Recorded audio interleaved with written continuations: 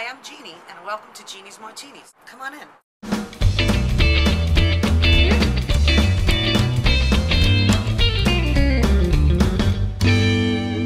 Hi, everybody. Welcome back to Jeannie's Martinis. Today's lesson in bartending is going to be knowing your liquors. And since we're going to make a martini today, you have to know what type of vodkas that you have. When the customer asks for something, you'll know whether or not we have it. Some vodkas are Absolut, Absolut mandarin, mandarin flavored vodka. And then Smirnoff's is another brand of vodka, and they come in a lot of different flavors. For instance, we have vanilla and strawberry, regular Smirnoff, we have orange, we have citrus. So depending on what drink you're making, you can know what vodka you have here. Um, Ketel One is another vodka. Ciroc is a popular vodka, made popular by uh, Puff Daddy, P. Diddy. Um, his Ciroc is, he has red berry. Looks really pretty when you have it on, under a light. Ciroc Red Berry, we have Ciroc Coconut, we have and regular Ciroc. We also have Grey Goose, which is considered a top shelf vodka along with the Ciroc because they're more expensive. And we have Stoli, and that's just some vodkas that we carry.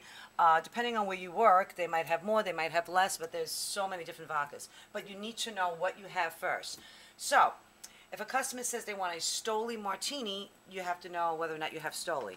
If somebody wants a Grey Goose martini, you need to know whether or not you have Grey Goose. So, get familiar with your vodkas, what brands you, you carry, what flavors you carry, so you can make the drink the right way. Today we're going to make a classic martini. It's a simple vodka martini. Now martinis do come in vodka or gin. Commonly asked for martini is a vodka martini. So first we're going to start with, we're going to take a martini glass. We're going to check, make sure it's clean, because if there is any lipstick or anything on the glass and you use it, once you serve it to the customer, it's going to have to be dumped. It's a waste of alcohol. So first we're going to take the glass, we're going to put some ice in it, a couple of squirts of water, and we're going to let it sit and chill.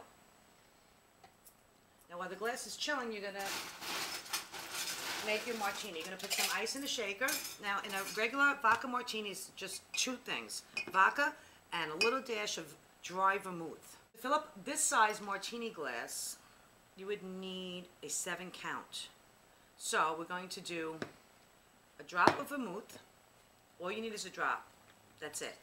One drop. Too much vermouth doesn't taste good. And then you're going to do about a six count of vodka You should never shake a classic martini, a vodka martini or a gin martini.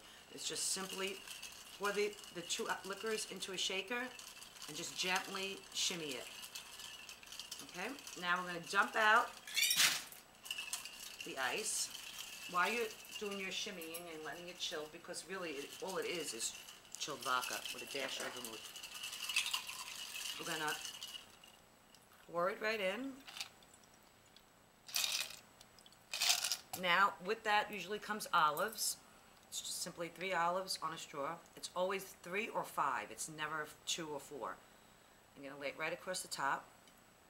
And that is your basic martini. So I hope you enjoy your martini. Until next time, cheers.